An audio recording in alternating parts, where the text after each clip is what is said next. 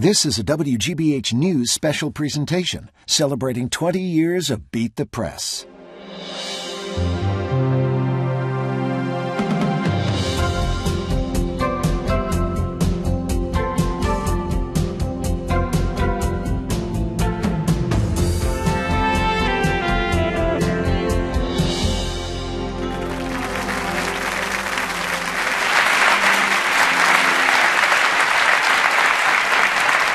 I'm Emily Rooney. Welcome to a special live edition of Beat the Press as we celebrate 20 years on the air.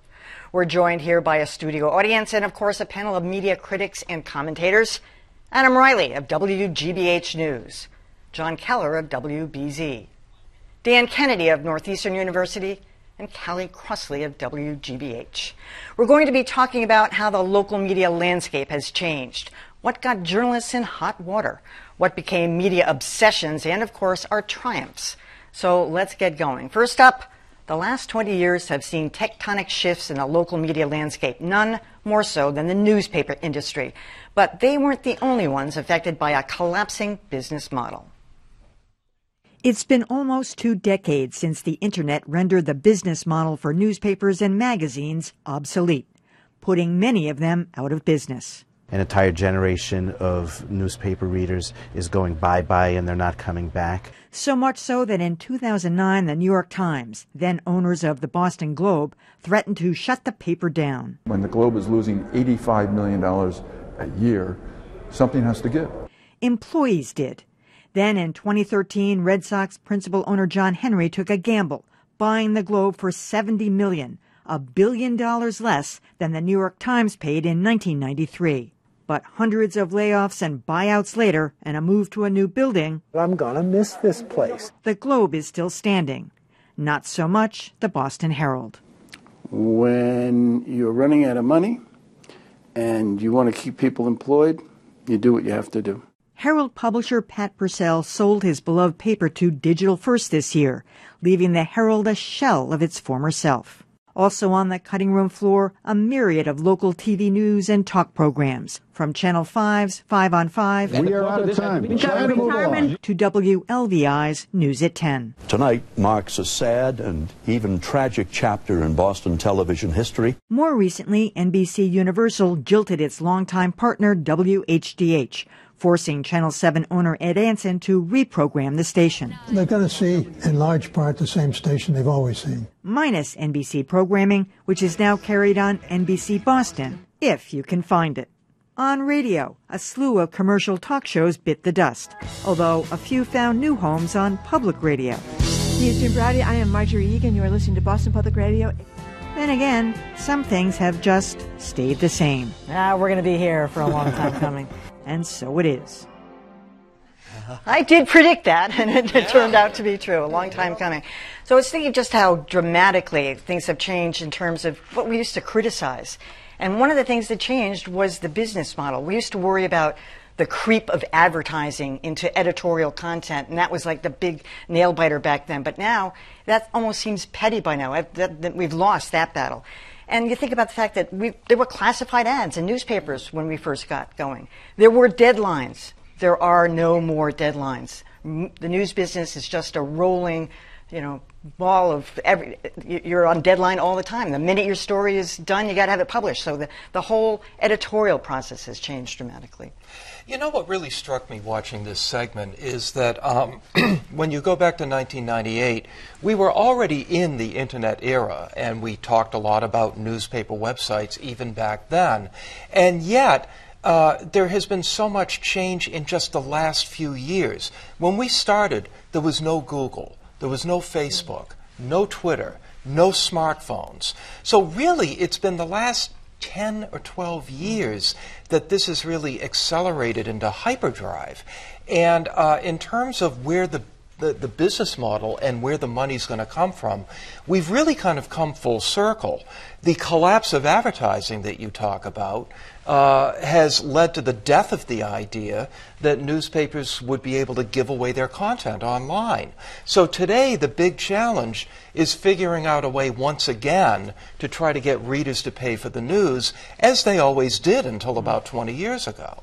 And one of the things that's really crazy right now is that there are about 50,000 paywalls. So you get you know, reading the first two lines, and it's like, oh, paywall. if you if you'd like to pay for it, you can do that. Nobody's going to pay for 15 different subscriptions. Maybe you have three that are important to you that uh, this is credible information and you know you can go there and get all the information or you feel that you can get the information you need. But I'm not, even I am not paying for 15 subscriptions. So a lot of people, so, so where are the audience? What's happening there? Two or three people behind each paywall? Yeah. Oh, it's really depressing watching that piece. I personally worked for two of those places, mm. the Phoenix and Channel 56, so Maybe I'm the problem. I really don't know. but uh, I'll have to tell my colleagues at WBZ not to buy green bananas.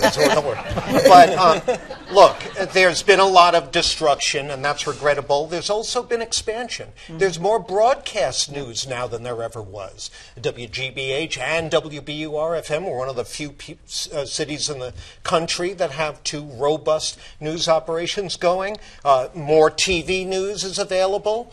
Uh, we have an all news station essentially over at Channel 7 and NECN as well. So uh, that's potentially a positive sign. The bottom line is what I hope isn't destroyed by this era is the notion of what is quality news. When you see copy editors being fired at the Globe, even the New York Times, that's a little concerning. Are we going to be just a, a, hear about it, type it up, and throw it on the web kind of industry, or something a little more substantive? I remember working at the Phoenix, not with you. You, you had preceded me, uh, Dan. Maybe uh, you're the right. one that killed it. Right, I'll, yeah, I'll take responsibility. Dan, you had moved on as well, but I remember getting a tip that the Times was going to threaten the Globe, or the Times company was going to threaten the Globe with closure. Was I was visiting my, my parents in Minnesota. I had a very good source who told me this is all set to run on tomorrow's front page, and I just didn't believe it initially. It was too too implausible that they would just say, we're going to shut you down. But it wasn't implausible at all. And I think for me, the lesson of that was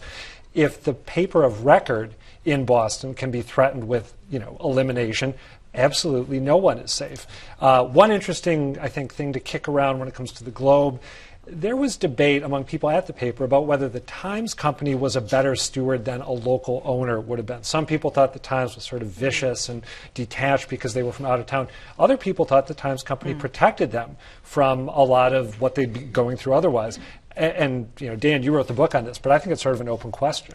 I think it's an open question, too. The one thing that we do know for sure is that whether the ownership is the New York Times Company or John Henry, the Globe is far better off than if it had been sold off to one of these uh, hedge fund controlled chains. Yep. Uh, just a, a, little number the, the Globe is still at about 220 people. The Denver Post, under Digital First Media, is at 60. Wow. That's depressing. Mm. All right, well, Beat the Press was just getting its sea legs when one of the biggest stories of the past 20 years broke. The Boston Globe star columnist Mike Barnicle was accused of plagiarism. But he is just one of many who have faced the firing line. Some survived, some did not. It was the summer of 1998. Globe columnist Mike Barnicle was at the top of his game when he was accused of stealing jokes from comedian George Carlin. So you can accuse me of sloppiness, and I plead guilty. Intellectual laziness, I plead guilty. Plagiarism, no. Following that, an internal review determined he had fabricated some stories, forcing him out. That was the same summer Globe columnist Patricia Smith was also forced out after admitting she made up quotes and people. Patricia Smith has virtually disappeared, mm-hmm. uh, while Mike Barnicle is out there and rehabbing himself. At the risk of being accused of playing the race card, I would say it's obvious why that would be possible for for him and not necessarily for her.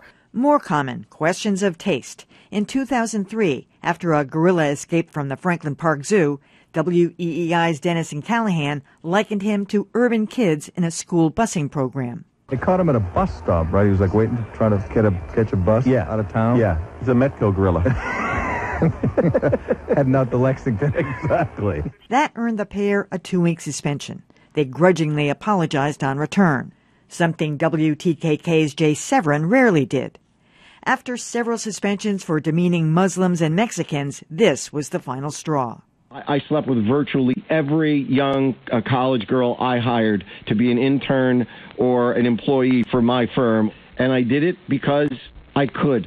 But saying offensive things did not compare to saying things that weren't true. Two of our four helicopters were hit by ground fire, including the one I was in. No kidding. Uh, Exaggeration cost NBC's Brian Williams his nightly news anchor chair and cost Globe columnist Kevin Cullen a three month suspension. For others, though, it was a matter of plain old bad behavior. This brutal ordeal is now officially over. That was 2004. But it turns out Bill O'Reilly paid about $45 million to 13 women who accused him of sexual misconduct, making him just one of a who's who of prominent journalists taken down, largely as a result of the Me Too movement. Charlie does not get a pass here. The Me Too movement ensnared several local journalists as well. Globe editor Brian McGrory survived accusations, while others did not. It was clearly a message from people who felt hurt, and I felt terrible about that. Still, other cases are yet to be resolved.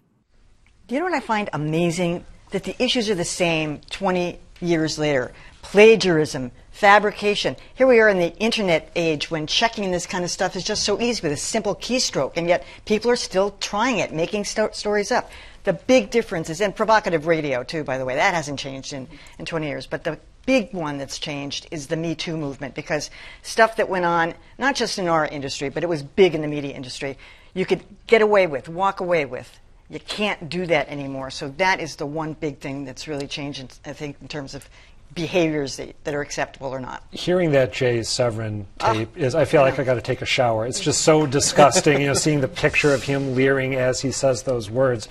When you talk about uh, plagiarism abiding, even though you can check everything in the internet age, I, th- I actually think that an argument can be made that the way we consume information now makes it more likely that someone's going to slip up and potentially accidentally appropriate someone else's work as their own because we're all looking at you know I don't know about you guys I've got about 12 different windows open during the day when I'm looking for facts about a particular story. I'll go back and I'll try to make sure that all right if I'm writing a story about what happened in Lawrence that I don't repeat the, the language that someone else used. But it is easy to screw up sometimes. Now in a lot of the cases we talked about that's not what occurred yeah, I think it should be clear that there are a lot of people are not trying to be right. Yep. They're just, you know, whatever the information is. And and more to the point, they're not trying to give attribution because if you would begin there, then you could corroborate whether or not this is factually true. This is where I got it from. But these days, stuff just lands and you're like, where did this come from? And if you're not paying attention to where the source came from, this is the conversation I have with people all the time, then you're screwed up from the beginning.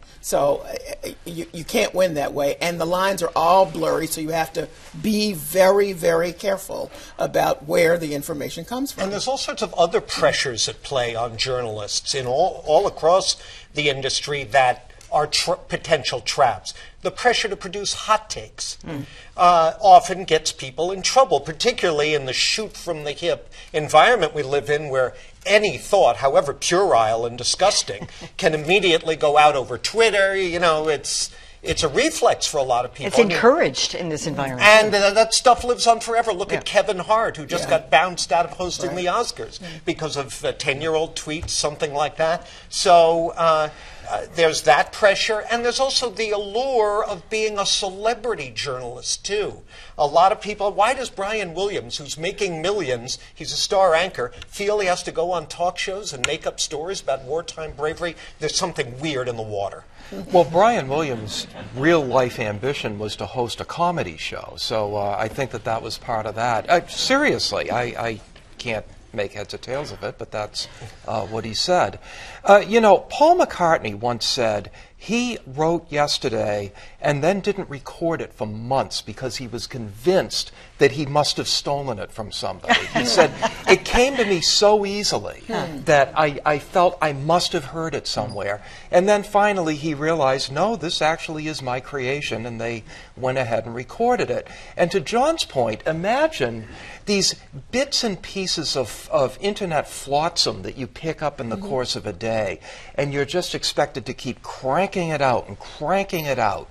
Uh, if anything, it's a wonder that we don't see more problems with uh, plagiarism and fabrication. By the way, Patricia Smith Smith is no longer a nobody, or she, No, she is, isn't. She is a four times uh, slam Yeah, poetry poetry. winner. She teaches. Um, she writes. Uh, Not in journalism. though. No, that that's was correct. Yeah. Uh, that was a 20-year-old soundbite. that- I'm just letting you know. All right. She was a finalist for Pulitzer in Yeah. poetry this year. All right. Well, an obsessive focus on salacious stories over critical issues was nothing new 20 years ago. But with the extension of 24 hour cable websites like TMZ, Twitter, and beyond, the maw opened wider and the media filled it. The year Beat the Press debuted, there was the Good Friday Peace Accord in Northern Ireland, the bombing of U.S. embassies in Kenya and Tanzania. But nothing caught the media attention like this. I did not have sexual relations with that woman.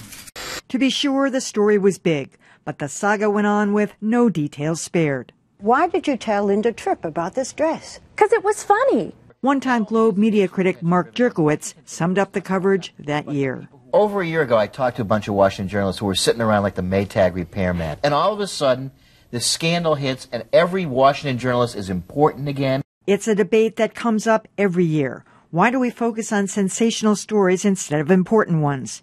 Here's Callie in 2007, musing over the media's obsession with the untimely death of one-time Playboy centerfold Anna Nicole Smith. I like trash, but even I cannot take this. This is too much. We have got to back away and get some boundaries. Good luck with that. Police are still looking for clues to the In 2001, the only boundary that ended the media's obsession with missing Washington, D.C. intern Chandra Levy was September 11th. Good Lord. There are no words. For much of the last part of 2001, the media put its obsessions aside. But it didn't take long. The nationwide search is on for the 14 year old Utah girl kidnapped from her home. The next year, it was the kidnapping of Utah teen Elizabeth Smart. It's real. And on it went. Natalee Holloway, Amanda Knox, Tiger Woods, Casey Anthony, Scott Peterson, Michael Jackson, and of course, Deflate Gate. Deflate Gate. Deflate Gate.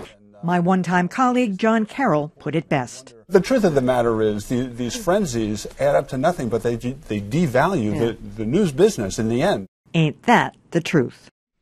You know, some people swept other big stories into obsessions, and I resisted putting them in because I thought they were legitimate. And I mean, I'm talking about things like the missing Malaysia Airlines jetliner 370, the um, the Chilean miners story, um, even the Thai cave rescue. These are issues of life and death. And yeah, sometimes there was a lot of speculation over what happened and exaggeration and that kind of thing, but they were legitimate stories. And this whole thing about the mysteries and the beautiful missing white women, for the most part, that's been going on for decades and decades. When you think about it, the, the resurgence now of podcasts that's focused on old murders and you know unsolved crimes, it almost like it's a validation of our curiosity about these kinds of things, and I don't see it changing. Well, they're an elemental part of the human condition, right? Sex and violence and sex added together with violence will always fascinate people. I got to push back a little bit at closing on that Lewinsky shot and starting off with the Clinton and Lewinsky sound bites. You can raise complaints about the way that was handled journalistically, and I think you can raise complaints about the way it was handled politically. But we were just lauding the media for its Me Too coverage in the previous discussion. The Clinton story is a Me Too story. That's about a grotesque abuse of power by the President of the United States. So I think at its root, that was completely legit. Uh, for me, that's no, it was a, a but it was, the sal- it was the focus on the Listen, salacious. I understand the salacious uh, concern. Yeah. You're not going to cut me off at the bar later if I agree with him and not with you on this, will you? No, please say you won't. Go ahead. Okay, all right. You're not. You didn't promise. All right. Look, uh, uh, you know, Anna Nicole Smith, I couldn't get enough of. All right, I'd watch it again if they'd run it again. Really? Absolutely. Because first of all, drug abuse Yeah. is a pretty big story. Now, I'm not saying that was the only thing that drew me to it, but you could make a case that that was a significant moral uh, lesson for a lot of people. Uh, and you know, this goes. Think of the Lindbergh baby. I mean, this goes back way before cable news, and uh, as Adam points out, it's just uh, the human experience uh, that compels people. And, you know, cable news and the current news environment fits the bill. We're always laughing in my house about um, how uh, there's a big hurricane coming. Oh, honey, do you want to turn on the Weather Channel and watch disaster porn? and I know that sounds kind of flip, but uh, there's Trump porn, there's all sorts of porn, and everyone loves porn, right, audience? I've said that before. uh, this crowd mixed, I'm not sure. You know, it, it, one of the things that struck me watching this is that there are times when a story grabs everybody's attention in such a way that we all kind of gather around the water cooler. And today, I think that even with those kinds of stories, they immediately get chewed up and spit out in this hyperpolarized uh, environment that we have that we move on immediately to, you know, what does this mean politically? And whose side are you on? Uh, watching the, the horror of 9 11, uh, God knows I wouldn't want to see that happen again. But I don't know that we would have the unity around that that we did uh, even that short time ago. Mm. The, the, the blaming and the mm. partisanship would begin immediately. And, uh, and I think that's really a shame. With the Thai Boys in the Cave, we didn't see that. It was no. kind of coming together in that way. I will say that when we put obsession on a story, we really get obsessed. I was at 2020 when uh, the Lewinsky uh, interview with Barbara Walters took place. You want to know the biggest question from people? What was the color of her lipstick? I am serious. That's how detailed and granular it got about that. That was a huge sidebar to that interview, which was about all the issues you said, but really it yeah. was about the, the lipstick color. What was it? Uh, it was uh, magenta. It was, uh, it was fuchsia. From, yeah, no, no, it was like from the pl- Monaco or something. I can't remember. Monaco. You know, yeah, it was something like that. It was, Thanks, I don't know what that is. I don't remember. It had a cute name, but I mean that's but that's the level of that yeah. we get to today. It, it, and my thing is, I am nosy, but there got to be some boundaries around this stuff. And you I like mean, trash. And I, I like trash. I, but come on, put some boundaries around it, yeah. and and get down. I'm gonna use that. What, I'm gonna use that quote in 20 years. okay, yeah, yeah. I, I, just think you just have to get to you know looking at what the real story is and not some of this other stuff. All right. Well, yeah. hope we haven't painted too negative a picture of the media over the past 20 years because much of it, if not most of what the press at large has done, has been good. Some of it even excellent. And there were several moments in local coverage that particularly stand out. The Boston Phoenix and others got the ball rolling exposing clergy sexual abuse and a cover up by the Boston Archdiocese. But it was the Boston Globe that broke it wide open in 2002. We were able to get internal uh, documents of the church. We were able to sort of get a window on how the church internally was operating. The Globe's Pulitzer Prize winning reporting was relentless, smoking out dozens of pedophile priests, leading to the arrest and convictions of two particularly prolific predators. John Geoghan, and Paul Shanley. If we didn't see that story, we wouldn't be sitting here. The family of Greg Ford came forward, as did many others. I can tell you where Christ is. He's alive and well on Morrissey Boulevard. In the end, Archbishop Bernard Law was forced to resign and dozens of priests were excommunicated. I want to point out to people that this is what good journalism looks like. So many times we discuss on the show what bad journalism looks like. The worst terrorist attack ever on American soil also brought out the best in American journalism. We understand that a plane has crashed into the World Trade Center. We don't know anything more than that. News organizations sent teams of reporters across the country and abroad, seeking the truth behind the hijackers and their motives, leading to one of the longest running wars in modern history. The media also got high marks for its coverage of the Boston Marathon bombings. We were looking in that direction right when that bomb went off. suspect number one was interviewed by the FBI back in 2011. The media played a significant role too in the relentless and dogged pursuit of James Whitey Bulger. He was running rackets, murdering his enemies, cooperating with the FBI, and under investigation by the state police. And they just it's this wonderful photo album of Whitey, Stevie doing business here, mafia figures, the Angiulo brothers coming over for meetings. You know, very rich uh, investigative material. The Boston Red Sox are world champions. Finally, we have to give credit to the home team for bringing out the best in owners, fans, and journalists. On October 27, 2004, after 86 years of frustration, But the big one that's eluded even the best investigative teams the Isabella Stewart Gardner Museum heist, a mystery now older than this show. when I was going back looking over 20 years worth of material, I have to just say that nothing stood out like that Globe spotlight piece on the Catholic Church. And we have given credit to the um, Boston Phoenix and to WBZA that did some fine reporting on it, but they really um, broke that open, as editor Marty Baron said. And uh, it's still an ongoing story 20 years later. That's the shocking part of it. Um, that the, the church seems to still be doing some of the same things that it was doing all those years ago, even after being exposed, after paying out millions and millions of dollars. Um, it's, it's incredible. I, I just want to say, though, that just in terms of some other triumphs in the, in the press, I, I think the advent of some of the technology that we're using today, it's just spectacular. The immediacy that it can have its dangers, and just I also want to say I think that the press has learned its lesson and become a little bit more cautious in how quickly they report things. It used to be the, the second something happened, like the Oklahoma City bombing, it'd say, "Oh, it had to be had to be Muslims," and I think we've taken a step back. The segment you created for this show, Emily, rants and raves, I think says it all.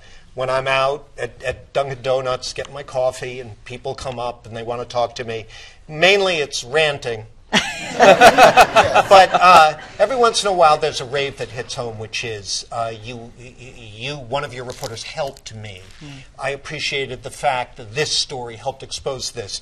At its best, the media and journalism holds powerful forces accountable, helps people who would otherwise not be helped or heard, and that's when we deserve the rave. I just want to say something about the Boston bombing story as a local story all national media descended here. It was an international story, but the local reporting was fantastic. Was. And I, I, I mean, I just, I am still. I'm glad you said that because it actually. Yes. Local news gets a bad rap for yes. being, you know, leading with crime and all that stuff, but they, they really measured up and it's just they can be, do it just like anybody else. It was fabulous. That, yeah, I yeah. just wanted to make sure that was clear. Absolutely. Uh, you know, we talked about the business models earlier. Probably the most difficult thing to do in this environment is to pay for accountability journalism because yes. it's incredibly expensive. I thought it was interesting that recently the Globe did a major follow up on the Catholic Church, and they did it in conjunction with the Philadelphia Inquirer. And they got funding from the Lenfest Institute, which is the nonprofit that owns the Philadelphia Inquirer. So it's really good to see that news organizations are finding ways to do the stuff that really matters uh, in this difficult right. time. One quick point about the, the Globe's work on church sex abuse. I think if Marty Baron hadn't been the editor, an outsider who came to town and thought, well, of course we go to court to get the documents, we'll never know if it would have happened otherwise, but I think it suggests the advantage of having someone come in who doesn't know the city and has a fresh pair of eyes. Damn glad he's down at the post right now. Yeah. yeah. Yes. All right, that is it. Thanks to all of you who've joined us here tonight, as well as those watching at home. And thanks for being loyal viewers over the years, too. Thanks, too, to the many people who have worked on this program over the years. And that is it for our 20th Beat the Press anniversary special. Our show will continue on Facebook Live for a little longer with a question and answer session. You can find that online right now at facebook.com slash WGBH News. I'm Emily Rooney.